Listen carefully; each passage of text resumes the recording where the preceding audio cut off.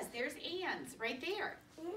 And so what we're going to talk about today is that when you are calm mm-hmm. and something's happened around you mm-hmm. and you are feeling maybe peaceful or you might be feeling curious, but you're feeling pretty good, mm-hmm.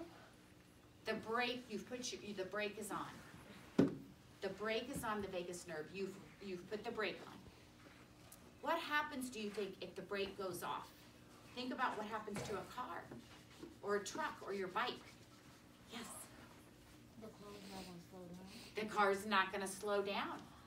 And what happens to your body if the brake is off? What does the amygdala start to do? Firing. What, did you want to say something else, honey? The blood um make, make the blood make the heart. What what you want the blood shape and then the heart make one make, make the the brain make the heart beat. Absolutely. So the brain and your heart are always communicating. They're talking to each other. Your stomach, your belly is talking to your brain. Have you ever had have you ever been so hungry that you've been mm-hmm. angry?